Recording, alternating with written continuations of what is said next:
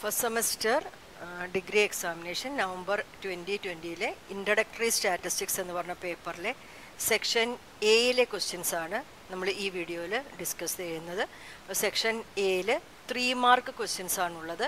അതിന് പന്ത്രണ്ട് ക്വസ്റ്റ്യൻസ് ആണ് അവിടെ കൊടുത്തിരിക്കുന്നത്.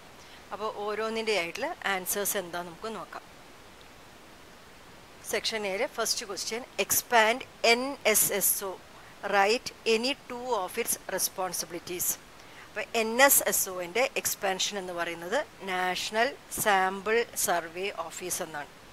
ആൻഡ് ഇതിന്റെ റെസ്പോൺസിബിലിറ്റീസ് ഏതൊക്കെയാണെന്ന് നോക്കാം. It is responsible for the conduct of large scale sample surveys in diverse fields on all India basis and it is the largest organization in India which conducts regular socio-economic surveys. അപ്പം N S S ഒയുടെ responsibilities large scale sample surveys conduct ചെയ്യുക എന്നതും socio economic surveys നടത്തുക എന്നുള്ളതൊക്കെയാണ് N S S O national sample survey ഓഫീസിന്റെ responsibilities second question define primary and secondary data primary data are those collected by the investigator himself for the first time for a specific purpose and hence they are original in character. It is a first hand data investigator അയാളുടെ ആവശ്യത്തിന് വേണ്ടി collect ചെയ്തെടുക്കുന്ന ഡാറ്റയാണ് primary data അപ്പം അത് original ആയിട്ടുള്ള ഡാറ്റയാണ് ഏതൊക്കെയാണ് പ്രൈമറി ഡാറ്റ നമുക്ക് എക്സാമ്പിൾസ് നോക്കാം. For example if the investigator wants to get some information about the wages of workers of a factory he can visit the workers colony and get his information by contacting every worker by inquiring about the wages. This first chat information is primary data അപ്പം ആളുകളുടെ വേജസിനെ കുറിച്ചിട്ടുള്ള വിവരങ്ങളാണ് അറിയണമെങ്കിൽ investigator ആളുകളോട് നേരിട്ട് ചെന്നിട്ട് വിവരങ്ങൾ ശേഖരിക്കുകയാണ്. അല്ലേ? അപ്പോൾ അത് അതൊരു പ്രൈമറി ഡാറ്റയാണ് അല്ലെങ്കിൽ ഫസ്റ്റ് ഹാൻഡ് ഡാറ്റയാണ് ഇനി എന്താണ് സെക്കൻഡറി ഡാറ്റ എന്ന് നോക്കാം.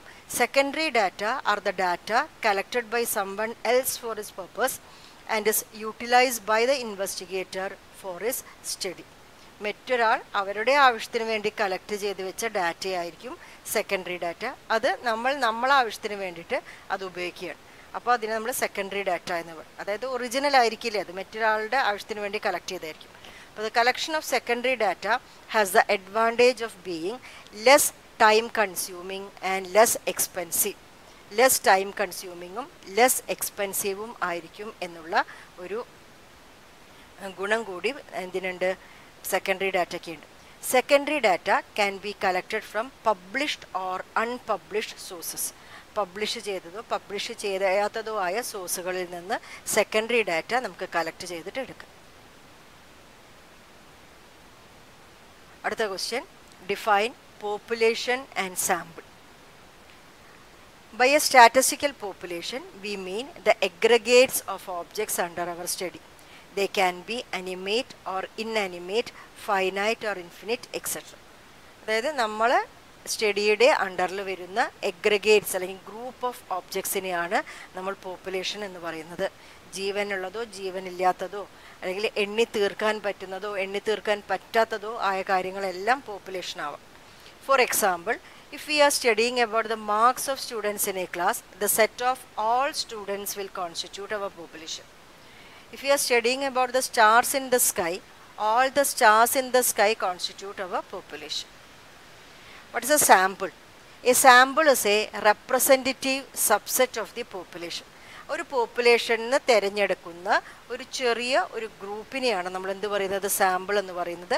A sample selected from the population a sample is selected from the population using various sampling techniques പല സാമ്പിളിംഗ് ടെക്നിക്കുകൾ ഉപയോഗിച്ചിട്ട് നമുക്കൊരു പോപ്പുലേഷനുള്ളിൽ നിന്ന് ഒരു സാമ്പിളിനെ സെലക്ട് ചെയ്തിട്ട് എടുക്കാം. അടുത്ത question for a set of observations show that sum of deviation of observations from their arithmetic mean is zero അപ്പം നമ്മളോട് ഒരു sum of deviations of observation from their arithmetic mean zero എന്ന് പ്രൂവ് ചെയ്യാനാണ് ചോദിച്ചിരിക്കുന്നത്. നമുക്കതെങ്ങനെയാണ് ചെയ്യണത് എന്ന് നോക്കാം. അല്ലേ? അപ്പം നമുക്ക് കാണേണ്ടത് നമ്മൾ അടുത്തുള്ള ഒബ്സർവേഷൻസിനെ നമുക്ക് എങ്ങനെ എടുക്കാം? നമുക്ക് X one X two etcetera എന്ന് പറഞ്ഞിട്ട് എടുക്കാം. Let X one X two etcetera X ഇതാണ് നമ്മളെ കയ്യിലുള്ള observations X one X two etcetera X N എന്ന് പറയുന്നത് നമ്മൾ ഒബ്സർവേഷൻസ് അപ്പോൾ നമുക്ക് കാണിക്കേണ്ടത് അവരുടെ എർത്തമാറ്റിക് മീനിൽ നിന്നുള്ള ഡീവിയേഷനുകളുടെ സം അപ്പോൾ ഇവരുടെ എർത്തമാറ്റിക് മീനിനെ നമുക്ക് എങ്ങനെ എഴുതാം? Arithmetic mean there arithmetic mean ഇവരെ എർത്തമാറ്റിക് മീൻ നമുക്ക് എക്സ് ബാർ എന്ന് എഴുതാം അല്ലേ? Arithmetic mean X bar is equal to summation I is equal to one to N X I by N ഇതിനെ നമ്മൾ എർത്തമാറ്റിക് മീൻ എന്ന് പറയും. അല്ലേ ഇനി നമുക്ക് കാണേണ്ടത് sum of summation I is equal to one to N deviations of observations എന്ന് പറഞ്ഞാൽ എക്സ് ഐ മൈനസ് ഡീവിയേഷൻസ് കാണുക പറഞ്ഞാൽ ഡിഫറൻസ് കാണുക. എവിടെ നിന്നുള്ള ഡിഫറൻസ് ആണ് കാണേണ്ടത്? എർത്തമാറ്റിക് മീൻ എന്ന്. അപ്പോൾ ഇത് സീറോ ആണ് എന്നാണ് നമുക്കിവിടെ പ്രൂവ് ചെയ്യേണ്ടത്. അപ്പോൾ ദിസ് ഇസ് ഈക്വൽ ടു അപ്പോൾ നമുക്കൊരു കാര്യം ചെയ്യാം. ഇതിന്റെ ബ്രാക്കറ്റ് മാറ്റും. അപ്പോൾ ബ്രാക്കറ്റ് മാറ്റുമ്പോൾ എന്താ വരിക നോക്കാം. This is equal to summation I is equal to one to N X I minus X bar എന്ന് പറയുന്ന ഒരു കോൺസ്റ്റന്റ് ആണ്. ആ കോൺസ്റ്റന്റിന് നമ്മൾ സമ്മേഷൻ കൊടുക്കുമ്പോൾ എന്താ സംഭവിക്കുക? കോൺസ്റ്റന്റിന് ഒന്ന് മുതൽ എൻ വരെ നമ്മൾ ആഡ് ചെയ്യുകയാണ് അപ്പോൾ നമുക്ക് കിട്ടുന്നത് എൻ എക്സ് ബാർ എന്നാണ്. This is N X bar. ഇങ്ങനെ നമ്മൾ എഴുതും. അല്ലേ? അപ്പോൾ ഇനി നമുക്ക് നോക്കാം. നമുക്കറിയാം arithmetic mean X bar is equal to summation X I by N എന്ന് എഴുതാം. അതിന്ന് നമുക്ക് മനസ്സിലാവുന്നത് what is summation X I ഈ എന്നിനെ ഇങ്ങോട്ട് കൊണ്ടുവരുമ്പോൾ എൻ എക്സ് ബാർ എന്ന് പറയുന്നതാണ് summation I is equal to one to N X അപ്പോൾ ഈ സമ്മേഷൻ എക്സ് ഐ എന്ന് വന്ന സ്ഥാനത്ത് നമുക്ക് എന്ത് എഴുതാം? എൻ എക്സ് ബാർ എന്ന് എഴുതിക്കൂടെ? അപ്പോൾ ഞാൻ അതാണ് എഴുതുന്നത്. This is equal to N X bar minus ഇവിടെ ഓൾറെഡി ഉള്ള ഒരു എൻ എക്സ് ബാർ ഉണ്ട്. N X bar minus N X bar വരുന്നു.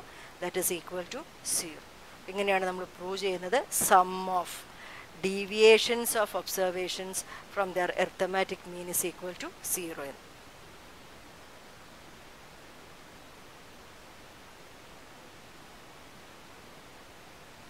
അടുത്ത question define quartiles and quartile deviations അപ്പോൾ കോർട്ടൈൽസ് എന്താണ്?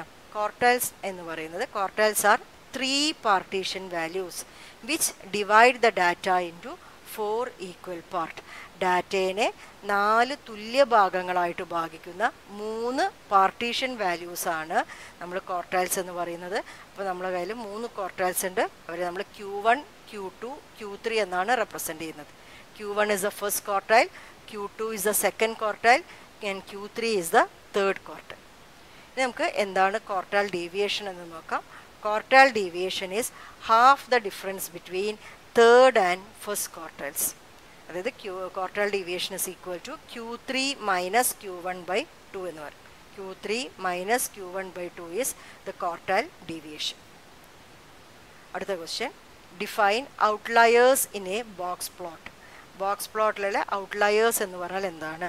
Outliers are the values lying between inner fences and outer fences in a box plot അപ്പോൾ box പ്ലോട്ടിൽ നമുക്കറിയാം box പ്ലോട്ടിൽ inner fence outer fence എന്ന് പറഞ്ഞിട്ടുള്ള രണ്ട് ഫെൻസുകളെ നമുക്ക് കണ്ടുപിടിക്കാൻ പറ്റും. അപ്പോൾ ആ രണ്ട് ഫെൻസുകളുടെ ഇടയിൽ വരുന്ന വാല്യൂസിനെയാണ് നമ്മൾ എന്ത് പറയുന്നത്? ഔട്ട്ലയേഴ്സ് എന്ന് പറയുന്നത്. അപ്പം outliers are the values lying between inner fences and outer fences they are considered as unusual values in a set of observations.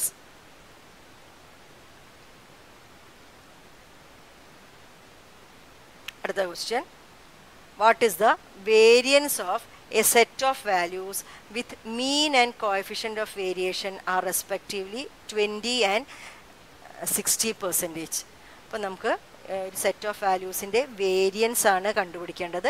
അപ്പോൾ വേരിയൻസ് എന്ന് പറഞ്ഞാൽ നമ്മൾ സിഗ്മ സ്ക്വയർ കൊണ്ടാണ് ഡിനോട്ട് ചെയ്യുക അല്ലേ? വേരിയൻസ് സിഗ്മ സ്ക്വയർ എന്താണ് എന്നാണ് നമുക്കിവിടെ കണ്ടുപിടിക്കേണ്ടത്. നമുക്ക് തന്നിരിക്കുന്നത് മീൻ തന്നിട്ടുണ്ട്. മീൻ എക്സ് ബാർ തന്നിട്ടുണ്ട്. Mean X bar is equal to twenty എന്നും. Coefficient of variation C V that is equal to sixty percentage എന്നും തന്നിട്ടുണ്ട്. അപ്പോൾ നമുക്ക് എങ്ങനെയാണ് വേരിയൻസ് കാണുന്നത് നോക്കാം. അപ്പോൾ കോയഫിഷ്യന്റ് ഓഫ് വേരിയേഷൻ ഉള്ള എക്സ്പ്രഷൻ എന്ന് പറയുന്നത് coefficient of variation is equal to sigma that is standard deviation by X bar into hundred എന്നാണ്. കോയഫിഷ്യന്റ് ഓഫ് വേരിയേഷന്റെ എക്സ്പ്രഷൻ എന്താണ്? Coefficient of variation is sigma by X bar into hundred അപ്പോൾ coefficient of variation sixty percentage എന്നാണ് തന്നിരിക്കുന്നത്. അപ്പോൾ sixty is equal to coefficient of variation sixty is equal to sigma എന്താണെന്ന് അറിയില്ല. Sigma divided by X bar is twenty into hundred എന്നാണ് വരുന്നത്. അല്ലേ? അപ്പോൾ അവിടെ ട്വന്റിയും ഹൺഡ്രഡും ക്യാൻസൽ ചെയ്യാന്ന് വെച്ചാൽ നമുക്ക് സിഗ്മ ഇന്റു ഫൈവ് എന്ന് കിട്ടും. അപ്പോൾ sixty is equal to sigma into five എന്ന് കിട്ടി. അപ്പം what is sigma sigma is equal to sixty divided by sigma എന്ന് പറയുന്നത് സിക്സ്റ്റി ഡിവൈഡഡ് ബൈ ഫൈവ് ആണ് വിച്ച് ഇസ് ട്വൽവ് അപ്പോൾ നമ്മൾ സിഗ്മ കണ്ടുപിടിച്ചു. നമുക്ക് വേണ്ടത് വേരിയൻസ് ആണ് which is sigma square the four variance sigma square is equal to twelve square which is equal to one forty four ഇതാണ് ഈ ഗിവൺ ഡാറ്റയുടെ വേരിയൻസ്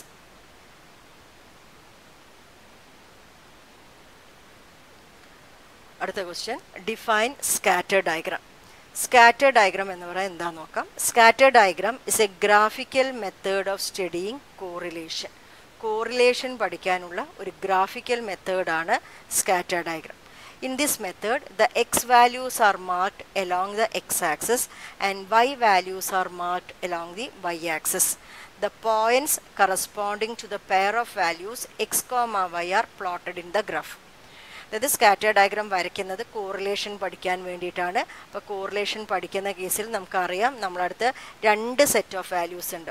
അല്ലേ? ഒരു എക്സ് സെറ്റ് ഓഫ് എക്സ് വാല്യൂസും ഉണ്ടാവും വൈ വാല്യൂസും ഉണ്ടാവും. അതിൽ ഈ എക്സ് വാല്യൂസിനെയാണ് നമ്മളിവിടെ മാർക്ക് ചെയ്യുന്നത്. എക്സ് ആക്സസിൽ മാർക്ക് ചെയ്യുന്നത്.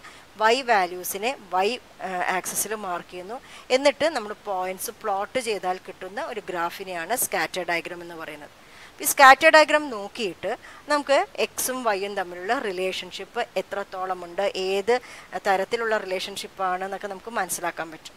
അപ്പോൾ നമ്മളിപ്പോൾ നോക്കുകയാണെങ്കിൽ ഇപ്പം പോയിന്റ്സ് എല്ലാം തന്നെ സ്കാറ്റർ ഡയഗ്രത്തിൽ കൂടിയിട്ടാണ് നിൽക്കുന്നതെങ്കിൽ അടുപ്പിച്ചിട്ടൊക്കെ നിൽക്കണമെങ്കിൽ നമുക്ക് പറയാം there is strong correlation between X and Y values എന്നാൽ പോയിന്റ്സ് ഒക്കെ കുറച്ചിങ്ങനെ അകന്നകന്നിട്ടൊക്കെയാണ് നിൽക്കുന്നത്. വല്ലാതെ സ്ട്രോ അടുത്തിട്ടല്ല നിൽക്കണമെങ്കിൽ correlation is weak weak correlation എന്ന് പറയും. ആൻഡ് ഈ പോയിന്റുകളെല്ലാം ഇപ്പോൾ ഒരു അപ്വേർഡ് ട്രെൻഡാണ് കാണിക്കുന്നത്. ഇങ്ങനെ മുകളിലേക്കാണ് പോകുന്നതെങ്കിൽ നമുക്ക് പറയാം the correlation is positive and ഒരു ഡൗൺവേർഡ് ട്രെൻഡ് പോയിന്റുകൾ പ്ലോട്ട് ചെയ്ത പോയിന്റുകൾ ഡൗൺവേർഡ് ട്രെൻഡ് കാണിക്കുകയാണെങ്കിൽ നമുക്ക് എന്ത് പറയാം? The correlation will be negative and ഇപ്പം നമ്മൾ സ്കാറ്റർ ഡയഗ്രത്തിലെ പോയിന്റുകളെല്ലാം ഒരു സ്ട്രേറ്റ് ലൈനിൽ കിടക്കുന്നു.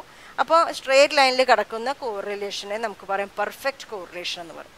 ആ പെർഫെക്റ്റ് കോറിലേഷൻ അത് മുകളിലേക്കാണ് പോകുന്നതെങ്കിൽ അപ്പോൾ സ്ട്രേറ്റ് ലൈൻ നമുക്ക് മുകളിലേക്കാണ് പോകുന്നതെങ്കിൽ പെർഫെക്റ്റ് പോസിറ്റീവ് കോറിലേഷൻ എന്നും സ്ട്രേറ്റ് ലൈൻ താഴേക്കാണ് വരച്ചതെങ്കിൽ പെർഫെക്റ്റ് നെഗറ്റീവ് കോറിലേഷൻ എന്ന് നമുക്ക് പറയാം.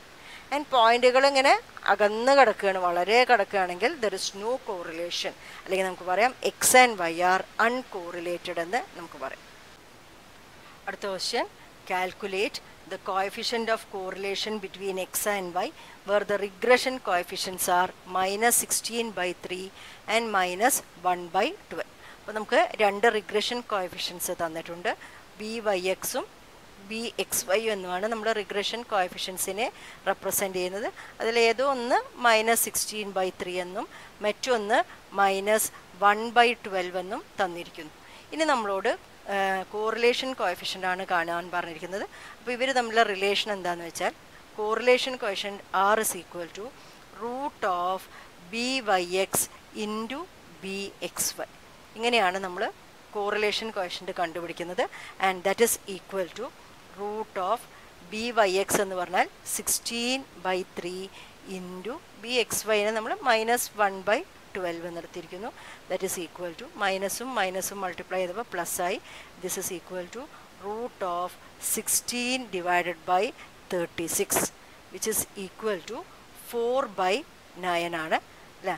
Four sorry four by six ആണ്. അപ്പോൾ ഫോർ ബൈ സിക്സ് എന്ന് നമ്മൾ എടുത്തിട്ടുണ്ട്. പക്ഷേ ഇവിടെ ഒരു കാര്യം കൂടി നോക്കണം. Root of sixteen by thirty six എന്ന് പറഞ്ഞാൽ അതിന്റെ റൂട്ട് പ്ലസ് ഫോർ ബൈ സിക്സും ആവാം മൈനസ് ഫോർ ബൈ സിക്സും ആവാം. പക്ഷേ നമ്മളൊരു പ്രത്യേകത കോറിലേഷൻ കോയഫിഷ്യന്റുകൾക്കും റിഗ്രഷൻ കോയഫിഷ്യന്റുകൾ അവർക്ക് മൂന്ന് പേർക്കും എപ്പോഴും ഒരേ സൈൻ ആയിരിക്കും. ഒന്നില്ലെങ്കിൽ മൂന്ന് പേരും നെഗറ്റീവ് ആയിരിക്കും അല്ലെങ്കിൽ മൂന്ന് പേരും പോസിറ്റീവ് ആയിരിക്കും. അപ്പോൾ നമ്മളെ ക്വസ്റ്റ്യനിൽ തന്നിരിക്കുന്ന രണ്ട് റിഗ്രഷൻ കോയഫിഷ്യൻസും നെഗറ്റീവാണ് അതുകൊണ്ട് തന്നെ അതുപയോഗിച്ച് കണ്ടുപിടിച്ചിരിക്കുന്ന കോറിലേഷൻ കോയഫിഷ്യന്റും എന്തായിരിക്കും? നെഗറ്റീവ് ആയിരിക്കും. അപ്പോൾ മൈനസ് ഫോർ ബൈ സിക്സ് ആണ്. അല്ലെങ്കിൽ that can be return as minus two by ഇതാണ് നമ്മൾ ആൻസർ ഇങ്ങനെയാണ് നമ്മൾ കോറിലേഷൻ കോഫിഷ്യന്റ് കണ്ടുപിടിക്കുന്നത്. അടുത്ത question define time series and write any two of its objectives time series എന്ന് പറഞ്ഞാൽ എന്താണ്? അപ്പോൾ time series data is the data that is arranged in chronological order that is the order of time ടൈമിന്റെ ഓർഡറിൽ arrange ചെയ്തിരിക്കുന്ന ഡാറ്റേനെയാണ് നമ്മൾ time series അല്ലെങ്കിൽ ടൈം സീരീസ് ഡാറ്റ എന്ന് പറയുന്നത്. Example population of a country in different years hourly temperature in a city monthly rainfall rainfall in an area etcetera ഇനി എന്തൊക്കെയാണ് അതിന്റെ ഒബ്ജക്റ്റീവ്സ് എന്ന് നോക്കാം. The objectives of the time series are identifying the nature of the phenomena represented by the sequence of observation നമുക്ക് തന്നിരിക്കുന്ന വിവരങ്ങൾ അനുസരിച്ചിട്ട് ആ ഡാറ്റയുടെ ഒരു പാറ്റേൺ മനസ്സിലാക്കുക. മറ്റൊരു ഒബ്ജക്റ്റീവ് എന്ന് പറഞ്ഞാൽ ഫോർകാസ്റ്റിംഗ് അല്ലെങ്കിൽ predicting the future values of the time series variable അതിന്റെ പാറ്റേൺ മനസ്സിലാക്കി കഴിഞ്ഞാൽ ഫ്യൂച്ചറിൽ എങ്ങനെയാണ് വാല്യൂസ് വരുന്നത് എന്നുള്ള കാര്യം നമുക്ക് പ്രഡിക്റ്റ് ചെയ്യാൻ പറ്റും. അപ്പോൾ ഇതൊക്കെയാണ് മെയിൻ ആയിട്ടുള്ള ഒബ്ജക്റ്റീവ്സ് ഓഫ് ടൈം സീരീസ് അടുത്ത question define secular trend in a time series by a secular trend or simply trend എന്ന് നമുക്ക് പറയാം. We mean the general tendency of the data to increase or decrease during a long period of time it is a long term fluctuation അതായത് secular trend എന്ന് പറഞ്ഞാൽ ഒരു ഡാറ്റയ്ക്ക് സാധാരണ ഒരു ഡാറ്റയ്ക്ക് ഒരു ജനറൽ ടെൻഡൻസി ഉണ്ട്. ഒന്നില്ലെങ്കിൽ വർദ്ധിക്കുന്നു അല്ലെങ്കിൽ കുറയുന്നു. അപ്പോൾ ആ ഒരു ജനറൽ ആയിട്ടുള്ള പാറ്റേണിനെയാണ് നമ്മൾ എന്ത് പറയുന്നത്? സെക്യുലർ ട്രെൻഡ് എന്ന് പറയുന്നത്. അത് കുറേ കാലം എടുത്തിട്ടുണ്ടാവുന്ന മാറ്റങ്ങളാണ്.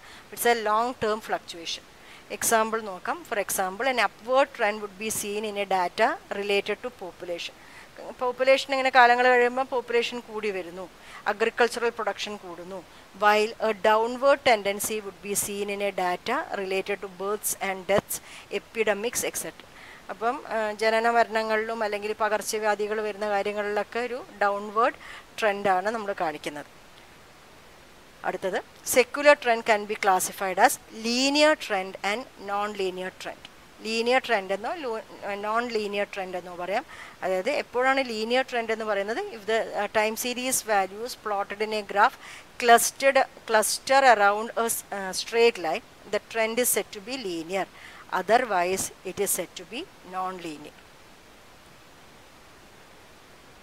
അടുത്ത differentiate price and quantity index numbers അപ്പോൾ എന്താണ് price index numbers price index numbers represent the relative change in the price of commodities in a in the current period in comparison with a base period അപ്പം നമ്മൾ price index നമ്പേഴ്സിൽ നമ്മൾ relative change പഠിക്കുന്നത് പ്രൈസുകളെ കുറിച്ചിട്ടാണ്.